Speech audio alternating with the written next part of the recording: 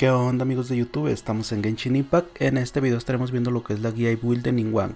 Ningguang es un personaje increíble de Geo que se caracteriza mucho por hacer mucho daño y deletear a los enemigos muy rápido. Es un personaje que hace un daño bastante masivo, es un daño que es bastante grande y es un personaje que se puede utilizar de dos roles, tanto DPS como support. Eh, su modo support simplemente la vas a utilizar para sacar la pantalla y el ultimate y su modo DPS la vas a utilizar para hacer ataques normales y cargados.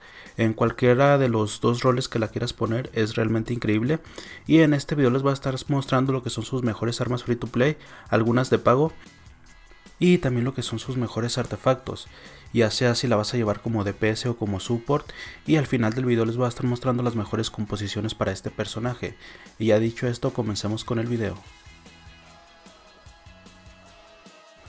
Vamos a empezar con lo que son sus mejores armas, empezando con lo que es el candado terrenal. Este candado terrenal nos da protección de escudo, que nos viene bastante bien porque Ningguang es muy poco resistente, tiene muy poca defensa, entonces sí, siempre nos viene bien tener esos escuditos y nos está dando mucho ataque cuando tengamos los escuditos. Otro catalizador es el pergamino celestial. Este sirve más para una Ningguang support y lo que es el libro de Geo sirve más para una Ningguang de tipo DPS. La Sinfonía de los Merodeadores también es un libro que nos sirve mucho, ya que este libro nos da daño crítico como subestad, que es la mejor subestad del juego. Y pero eh, algo que tiene negativo este libro es que tiene la subestad aleatorios, nos puede aumentar el ataque, nos puede aumentar el bono de daño elemental y nos puede aumentar la maestría elemental. Dos de estas tres nos sirven mucho, pero si nos cae en maestría elemental, esto puede ser bastante molesto, por lo que es bastante arriesgado. Otro catalizador free to play que tuvimos es el Cuentos de Dodoko. Este la verdad es que lo regalaron. Entonces, si tú ya juegas Genshin Impact desde hace tiempo, tendrás este catalizador. Eh, es bastante bueno para Ningguang porque te aumenta el daño de los ataques normales y cargados. Pero lo dejaría de último lugar de estos que les estoy diciendo porque el Ningguang también hace daño con su pared y con su ultimate. Entonces no es tan aprovechable. También tenemos el ojo de la perspicacia. Este libro tiene la propiedad de hacer daño físico y ese daño físico rebota entre enemigos, pero realmente yo no lo recomiendo tanto. Lo pueden utilizar, pero ya sería la última opción de estas free to play. Si tú apenas estás empezando en este juego y no tienes catalizadores, uno muy bueno es este que se llama Nefrita Gemela. Este catalizador sale en cofres. Siempre que vayas a un cofre de Lillo o de Monsta te puede salir este catalizador por lo que si ustedes no tienen otros catalizadores de momento pueden utilizar este ya que nos da probabilidad de crítico y nos aumenta mucho el ataque. Ya como opciones de pago pueden ponerse lo que es el catalizador del pase de batalla. Este creo que está hecho a la medida para Ningguang y creo que este sería su mejor opción eh, de 4 estrellas, superando incluso la sinfonía, simplemente porque la sinfonía en algunas ocasiones nos puede dar maestría elemental y este siempre nos va a dar lo que es más daño de la habilidad elemental y de la habilidad definitiva, que con Ningguang es muy bueno y esto prácticamente nos bufa todo lo que es el kit de Ningguang. Aparte de darnos esa probabilidad de crítica para que nosotros podamos llevar a nuestra Ningguang con mucho daño crítico, por lo que es un catalizador bastante bueno. Otro catalizador que pueden conseguir es el del peñasco oscuro. Eh, no lo recomiendo mucho porque se parece mucho a lo que es el eh, lo que es la sinfonía de los merodeadores. Y la sinfonía de los merodeadores nos salen los banners, así es que este es un poco difícil. No lo recomiendo tanto, tal vez puedas aprovechar esa pasiva si matas a muchos enemigos. Pero en general yo no recomiendo que gasten lo que es brillo para conseguir este catalizador. Porque siento que ya hay armas de 4 estrellas que pueden hacer su trabajo otro catalizador que ustedes se pueden poner es el real. Cuando, no sé si ustedes saben, pero cada mes van rotando lo que es la tienda. este, en este mes está lo que es el catalizador del peñasco oscuro. Pero hay meses que está lo que es el libro real. Este libro nos da una subestad de ataque, nos da ataque y ataque porcentual. Y pasivamente nos está dando un poquito de probabilidad de crítico cada que fallamos un golpe crítico. Es un catalizador que te puede servir si no tienes ningún otro pero para el costo que tiene yo, no lo recomiendo para nada. Pero eso ya depende de cada jugador. La verdad es que ustedes son libres de utilizar lo que quieran. También tenemos el libro de Frío Eterno. Este también nos da doble ataque. Pero este no, lo que hace es que nos da más daño contra enemigos afectados por crío. Eh, no lo recomiendo para nada. Eh, no nos da más daño por enemigos afectados por crío. Lo que hace es que nos da como un golpe extra que es físico. Pero ese daño si el enemigo está afectado por crío hace más daño. Eh, no he visto que nadie tenga ese catalizador, pero pues si ustedes se lo quieren poner o no tienen otro, adelante. Pero como arma 5 estrellas, el mejor es el candado terrenal. Como 4 estrellas, la Sinfonía de los Merodeadores. O los cuentos de Odoko también nos sirven mucho. Ya si ustedes compran el pase, el libro, del el libro del pase de batalla también es muy bueno. Y como pueden ver me queda con unas estadísticas bastante buenas cualquiera de estas dos armas. Entonces vamos a pasar ahora con lo que son sus mejores artefactos. Lo mejor que tú le puedes poner a tu Ningguang si la vas a llevar como DPS es dos piezas de gladiador y dos piezas de lo que es el set de Petra. Estos artefactos nos estarán bufando tanto el daño geo como el ataque en general. Eh, nos interesa mucho que nos bufe lo que es todo porque también le podríamos poner dos piezas de la nobleza.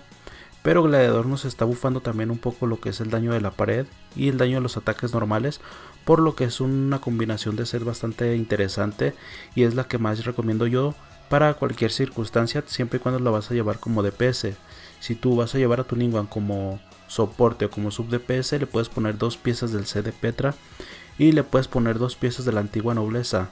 Esto lo que va a hacer es que va a aumentar mucho el daño de nuestra habilidad definitiva, por lo que esto lo recomiendo más para una Ningguang de tipo soporte o de tipo sub DPS para salir y simplemente hacer mucho daño con su ultimate y ya cambiar a los demás personajes.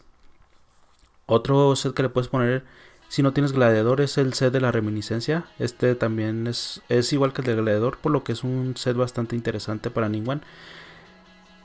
En cuanto a lo que es el set de, el del set del errante me estuvieron preguntando y la verdad no lo recomiendo. Este te aumenta el daño de los ataques normales, pero no lo recomiendo porque no aprovechas el set de dos piezas. Y Ningguang tiene más daño de la pared y su ultimate. Simplemente tiene más formas de hacer daño y no solamente con sus ataques normales. En cuanto, al, en cuanto nuevo set de defensa, este set nos da mucho daño geo si tienen todas las cargas, pero tampoco lo recomiendo, a menos que consigan un set muy bueno, les puede servir, pero en general sería inferior que dos piezas de Petra y dos piezas del gladiador, por lo que no lo recomiendo para nada. Esas son las mejores piezas que ustedes pueden ponerle a su Ningguang. Ya como opciones de 4 estrellas, si ustedes todavía no pueden farmear artefactos legendarios, Pueden ponerle set de artefactos como el del Berserker ya, que se va a aumentar nuestra probabilidad de crítico. O simplemente pueden ponerle cualquier set de artefactos que nos aumente el ataque. Hay muchos set de artefactos que nos aumentan el ataque. Por lo que ahí tiene muchas opciones free to play. Ahora pasemos con lo que son sus mejores constelaciones.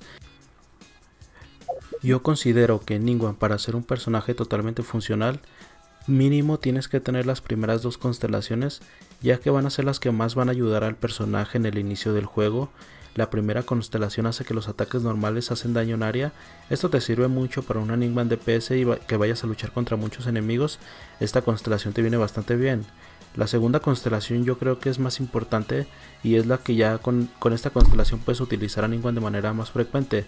Esta constelación hace que tú tengas dos pantallas de Jade entonces eso no solamente va a aumentar nuestro daño al tener dos pantallas, sino que también va a aumentar lo que es las partículas elementales, generadas por Ningguang. Es una constelación bastante buena y yo se la recomiendo que ustedes tengan esta constelación. La tercera constelación os bufa lo que es la habilidad definitiva, por lo que es una constelación bastante interesante y es bastante buena. Eh, como cuarto dupe, el cuarto dupe es malísimo porque nos aumenta lo que es un poquito la resistencia elemental cuando estemos cerca de la pantalla de Jade. Esta constelación no es que sea la gran cosa, si es que entretenerla y no tenerla y no tenerla realmente no cambia nada. Y la constelación número 5 tenemos que nos bufa lo que es la pantalla de Jade. Es una constelación que te aumenta bastante el daño de la pantalla, por lo que es algo interesante de conseguir. Y ya como la C6, la joya de la corona, tenemos que al lanzar estrellas Ningguang obtiene 7 Jades estelares. Los Jades estelares aparecen cada que lanzamos lo que es la habilidad definitiva, que les voy a mostrar un ejemplo. Cuando ustedes ponen la pared y hacen la habilidad definitiva, como pueden ver en la espalda de Ningguang han aparecido bastantes piedritas. Todas esas piedritas son Jades estelares que los podemos lanzar haciendo el ataque cargado, por lo que va a aumentar mucho el daño de Ningguang cada vez que haga el ultimate. El daño de cada ataque de, estos de Jade va a estar escalando con lo que es el ataque básico de Ningguang. Aquí les muestro a nivel 8 que lo tengo yo, hace un daño de 79% cada Jade. Estos Jades la verdad es que son muchos y el daño termina siendo bastante interesante. Y con esta constelación es para romper totalmente a lo que es el personaje, para tenerlo súper poderoso. Pero no se deben preocupar por tenerla, ya que Ningguang sin esta constelación sigue siendo un personaje muy poderoso y no necesita al 100% esta constelación, aunque siempre viene bien tenerla. Ahora pasamos con los talentos. Tenemos lo que es su ataque normal, lo que es su pared y lo que es su habilidad definitiva. Si tú vas a usar a Ningguang como DPS, lo que más recomiendo subir primero es los ataques normales y lo que es la habilidad definitiva. Aunque deberías de subir todos, ya que todos aumentan mucho el daño de Ningguang. Por lo que es bastante costoso subirla, ya que tienes que subir todos los talentos.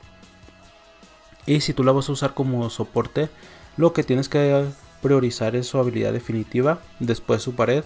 Y los básicos también te recomiendo que los subas de mínimo al 6 para que esos jades estelares que lances con la última te hagan más daño. Eso es lo que yo priorizaría en una Ningguang. Ahora pasemos con lo que son los talentos de ascensión de Ningguang.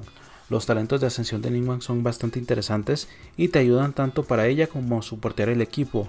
El primer talento de ascensión hace que Ningguang no consuma aguante cuando lanza un ataque cargado si es que tiene lo que son los Hades estelares en lo que es su espalda. Mientras Ningguang tiene su Jade estelar en la espalda, no consumirá aguante. Como pueden ver aquí cada que lancemos un ataque en el básico y le demos a un enemigo, aquí no me sale, pero cuando ustedes golpeen a un enemigo con su ataque básico nos van a dar un Jade estelar. Por lo que yo recomiendo, si ustedes van a jugar a Ningguang como DPS, lanzar un ataque normal y uno cargado. Uno normal y uno cargado. O también pueden lanzar dos normales y uno cargado. Pero asegúrense de que el ataque normal golpee al enemigo para que nos den este Jade estelar. Si el, ataque normal no, golpeó al enemigo, no nos va a estar dando este Jade y el ataque cargado va a estar consumiendo mucho aguante.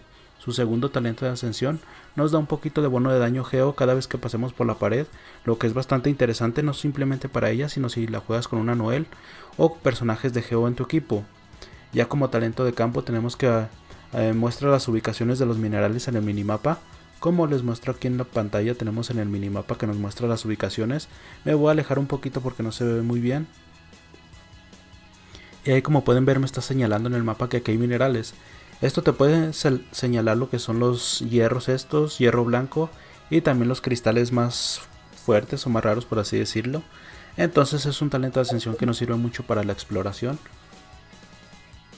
Y hasta aquí dejaríamos lo que son los talentos de Ningguang. Ahora pasemos con posibles personajes que tú puedas acompañar con esta Ningguang. Puedes utilizar el equipo que yo tengo a continuación. Es un equipo de doble geo. No es que Ningguang no pueda jugar con un equipo de doble geo. Pero más que nada yo lo recomiendo que ustedes traten de buscar doble geo siempre porque nos vamos a estar aumentando mucho el daño. También lo que recomiendo es que ustedes metan personajes que puedan hacer, que puedan meter mucho elemento mientras no están en combate como Shinkyu, Fischl, Shanlin, e incluso la Shogun Raiden.